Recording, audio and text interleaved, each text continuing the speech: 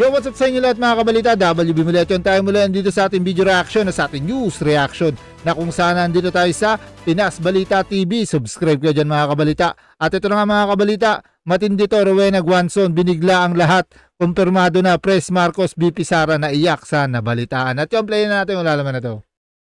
Ito ang nakakagulat. Nakahanap ng probable cause ang Office of the Ombudsman para kasuhan si dating Commissions on Elections Commissioner Maria Rowena Guanzon para sa dalawang bilang na paglabag sa Republic Act 1319 or Anti-Graft and Corrupt Practices Act. Pero bago ang lahat mga kapinas, kung bago ka pa lamang sa channel namin, ay huwag mong kalimutang mag-subscribe at pakiclick na rin ang notification bell para mas maging updated ka pa lalo sa lahat pa ng bagong videos na i-upload namin. At yun nga makapinas ang Ombudsman Resolution sa isang kopya na nakuha mula kay Atty. Ferdinand Topacio na isa sa mga nagre-reklamo ay nagsabi na si Guanzon ay maagang nag-isiwalat ng confidential impormasyon sa dalawang panayam. Si Guanzon ay ang Presidenteng Commissioner ng COMELEC First Division na umawak ng mga disqualification cases laban kay dating President candidate at ngayon ay kasalukuyang Pangulo ng Republika ng Pilipinas na walang iba kundi si Pangulong Bongbong Marcos Jr. ay nagbigay siya ng kanyang panayam kay Cassandra Aguinaldo sa GMA News kung saan ay sinabi niya na bumoto siya para i-disqualify si Pangulong Bongbong Marcos Jr. sa nagdaang eleksyon. Noong January 28, parehong taong sinabi niya kay Patirno ng Rappler ang pangalan ng ponente na namamahala sa pagsulat ng resolution at tinalakay ang kanyang hiwalay na opinyon. Si Comelec Commissioner Amy Ferlino ang ponente. Ang pagtatalo ng respondent na ang impormasyong ibinunyag niya ay hindi tinuturing na isang confidential na impormasyon ay nabigong kumbinsihin ang binasa ng resolution ng ombudsman. Batay sa Comelec Resolution 10685 na pinamagatan na in a matter of people's freedom of information manual sinabi ng ombudsman na all information acquired by respondents in the exercise of his question judicial power are considered confidential information.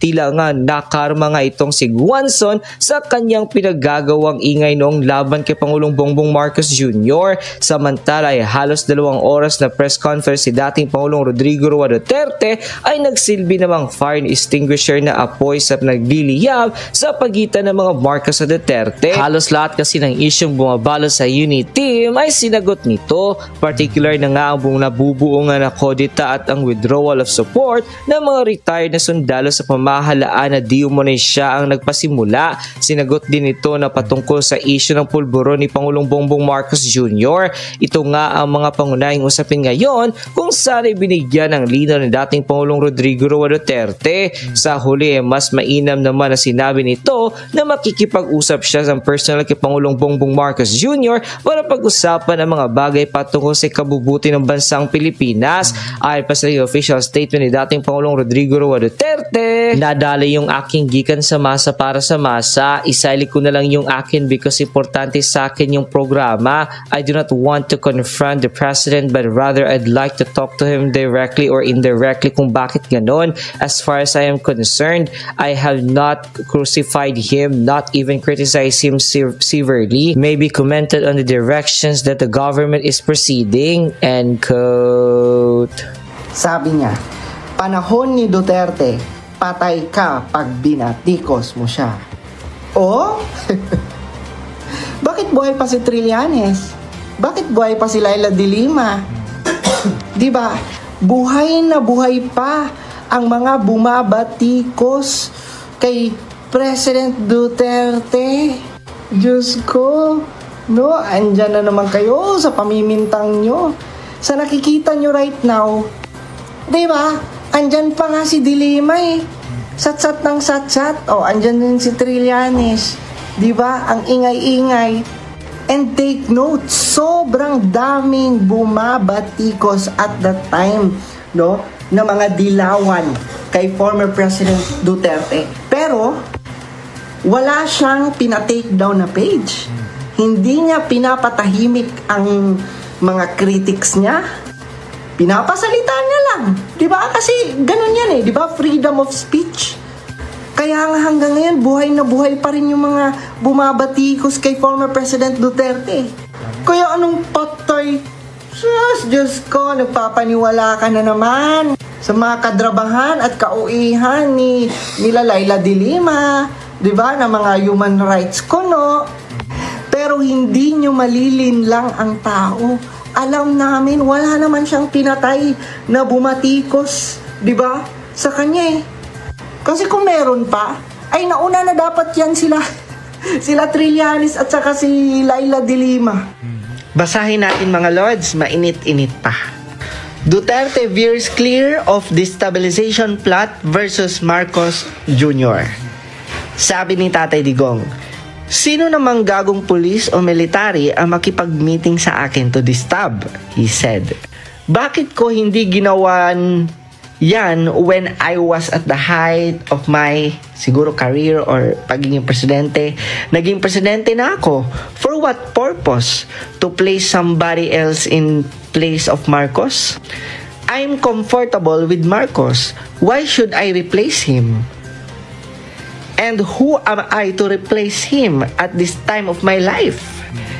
It's either they are bullshit around or plain insecurity, he added. O di ba? From our former president Rodrigo Duterte na mismo.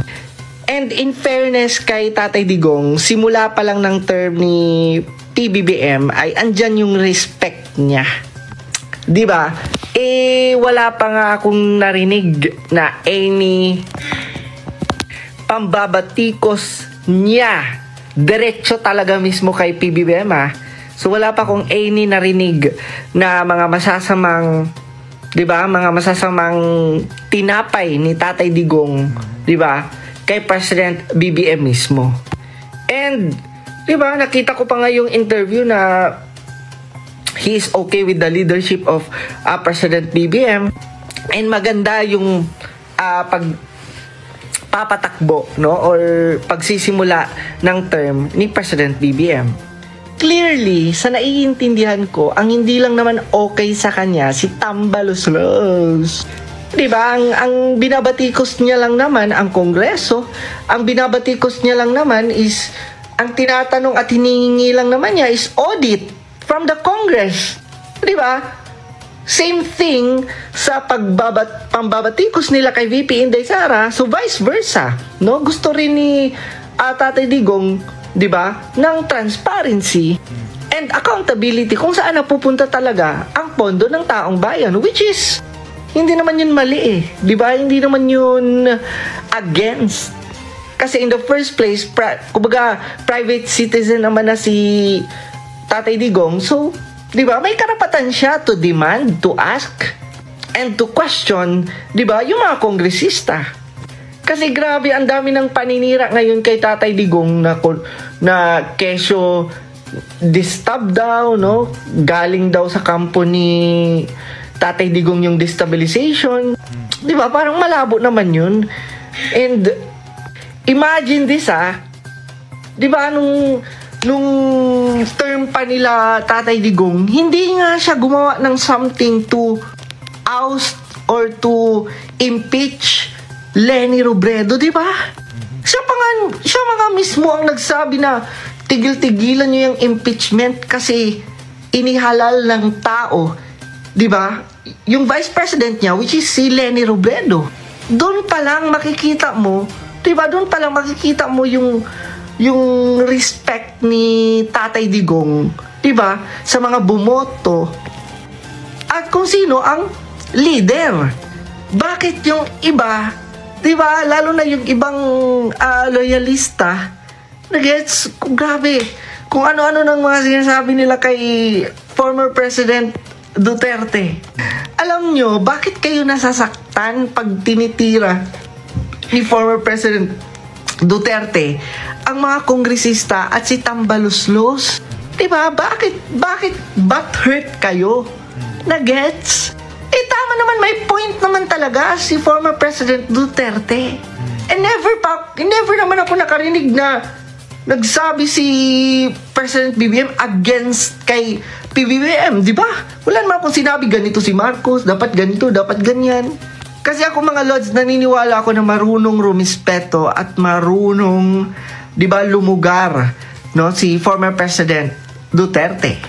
Of course, may mga salita lang talaga or opinion lang talaga siyang hinihingi ng taong bayan and wala na tayong magagawa dun.